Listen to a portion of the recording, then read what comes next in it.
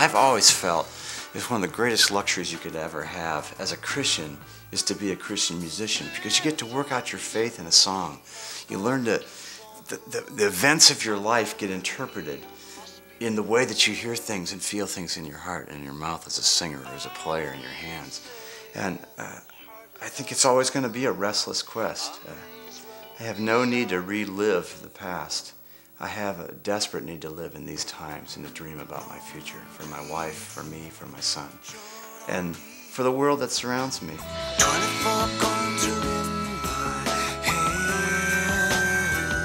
It's an incredible opportunity and honor for me to be able to go down the highway with somebody at 5.30 at night when they've just had the worst day of their life and they plug that CD in and I get a chance to talk with them and to be with them.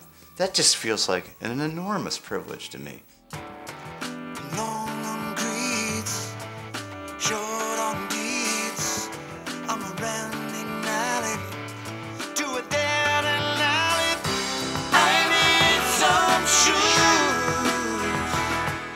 The musical direction is something that evolved in my living room with a grand piano and the sunlight streaming in on fall and spring mornings and me thinking about the people I love, the people I should love more than I do, the things I don't like about myself that I wish God would help me change, uh, the things that I just am so happy about.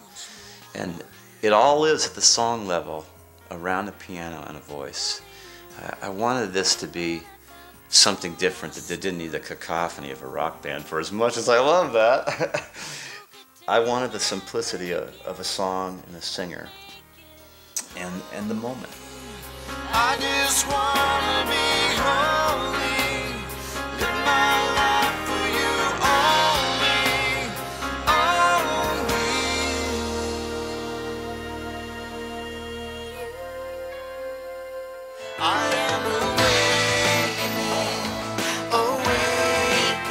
Awakening is a word that just kind of floated into my consciousness as I was working on this. And I think it's because I am just awestruck at the beauty around me. Uh, the morning, getting up and hearing my son's voice calling me and, and my wife. You know, I want to be a crazy old man on a park bench, 75 years old, holding the hand of my wife. You know, I just, I want that so much. I think life should be beautiful and romantic and inspired. He said, I have come to give you abundant life, not some cheap facsimile of what some TV show told you life's supposed to be. Abundant life. I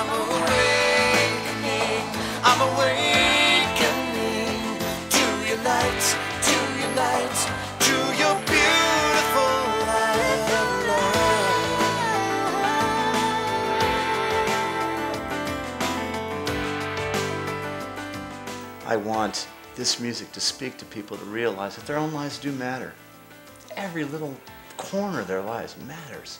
So hopefully I help people ask themselves even some hard questions. I've always, I've always believed that, that music should be more than just fun. I want it to be fun. It should be entertaining. I hope that this music allows people to, to be comfortable with, certainly, to have a good time with, but that they can feel themselves entering this music. I, and at that point, I could care less whether they're hearing me. I'd rather have them hear their heart than hear me. So let joy come spilling down like the gold of the dawn. I want to soar like a leaf on the wings of belief. Uh, there's a song called I Believe. And, uh, you know, I wrestled a long time whether I should ever do a solo record. Uh, and I was just wrestling with where am I going as the head of my family, as a husband, as a musician, or as, as just a person trying to live meaningfully on this planet? Where am I going? And I, I don't know.